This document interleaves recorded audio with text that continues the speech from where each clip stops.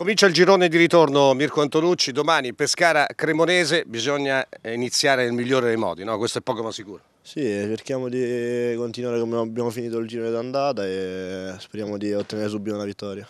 Tra l'altro il Palermo ha perso in casa contro la Sernitana, una ottima Sernitana che invece era stata travolta proprio dal Pescara prima della sosta. Sì, ma io penso, l'ho sempre detto, il campionato Serie B è difficile, me ne sono accorto subito e tutte le squadre sono competitive e all'altezza di tutte. Quindi il Pescara insomma ci deve credere per forza di cose, cioè anche nella promozione diretta voglio dire. No, non parlo di promozione, ma parlo comunque di lavorare ogni giorno e vedere cosa ci serve il futuro. Che cosa ti ha insegnato questo campionato di Serie B? Tra l'altro eh, 14 presenze non sono poche no? al primo campionato con i grandi.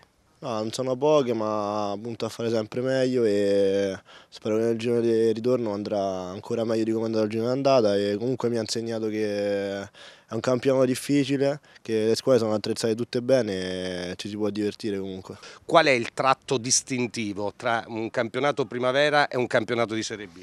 Eh, il tratto distintivo è che sicuramente giochi con persone più grandi, più esperte, non giochi più con ragazzini, quindi è totalmente diverso. Quindi anche dal punto di vista, se vogliamo, fisico, no? Sì, assolutamente, infatti eh, mi sto migliorando anche in quello perché comunque serve continuo a lavorare come ho sempre fatto. Devi cominciare a segnare perché adesso... No, quello assolutamente è un obiettivo del giorno di, di, ritorno e sono sicuro che arriverà. Pillon ti chiede anche un lavoro di sacrificio che tu eh, fai benissimo, devo dire, perché insomma copri tutta la fascia. Quindi, no, ma penso che se un mister viene e ti dice che devi aiutare anche in fase difensiva e hai 19 anni non di certo non stai lì a protestare che, che, non devi farlo.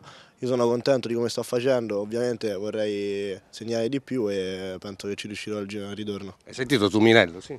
Sì, l'ho sentito, ma... Pare che venga. Cioè... Non lo so ancora, non so a dirvi niente. l'hai spinto un po', dai, accetta per Ah, no, non lo so, questo no. non ve lo posso dire, comunque vedremo cosa succederà. Ci puoi spiegare un po', illustrare le, le sue caratteristiche, perché magari lo conosciamo di meno. No, ma io non, non, devo illustrare niente, ah, perché... Giocato come no. Lui è un grande attaccante, eh. è un grande giocatore, se viene ci può fare soltanto bene. Un grande giocatore, cioè caratteristiche, quindi attacca la profondità, fisicamente sì, forte, sì, veloce. Forte, fa gol, è veloce, penso che è uno dei migliori del suo anno. Vedremo cosa succederà.